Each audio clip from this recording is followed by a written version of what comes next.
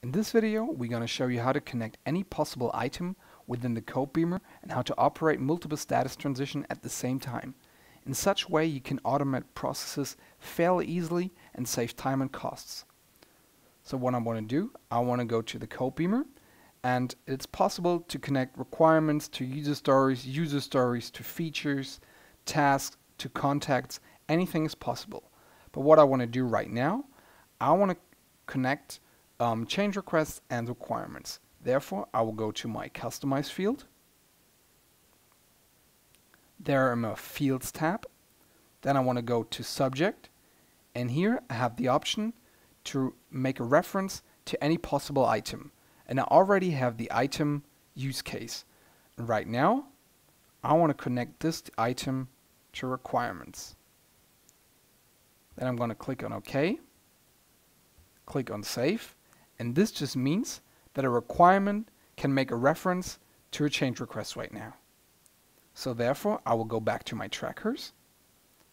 Then I will go to my requirements.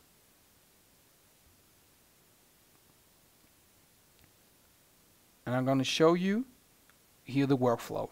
And now we want to set up a cross-tracker workflow.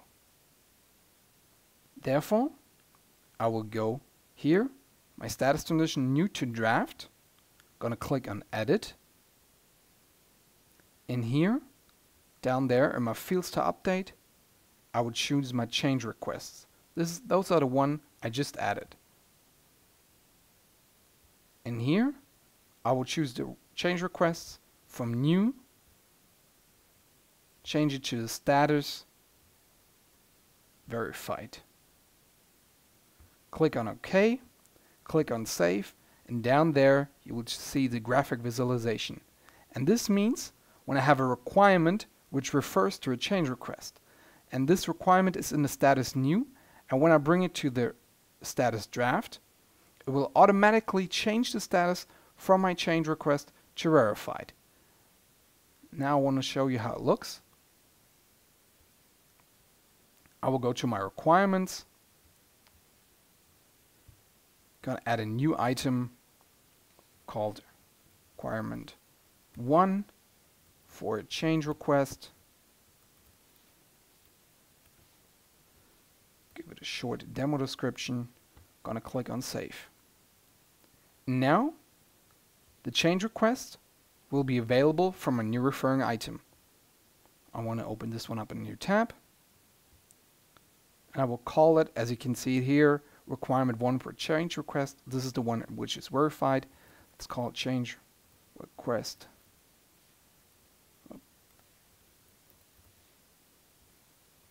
Demo. Let's call it demo. Then I will click on save. And now, when I go here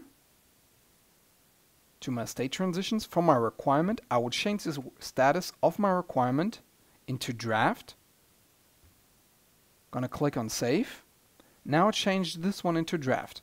I will go back to my workflow and going to show you how it looks.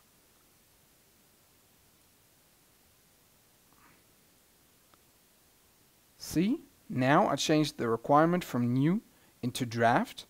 And if I go now on my change request, it should have been automatically changed to verified. Now is my change request, and as you can see, it's still in the status new. But watch, as soon as I refresh my page, now it's in the status verified. And this is the way how you can pretty much interconnect any item in the CodeBeamer.